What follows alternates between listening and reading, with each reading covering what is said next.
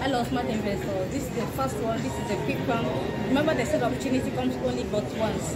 It's only an ignorance that makes people not to get rich. Just wait and listen to this news. You're running a promo on a beachfront property in Lagos State.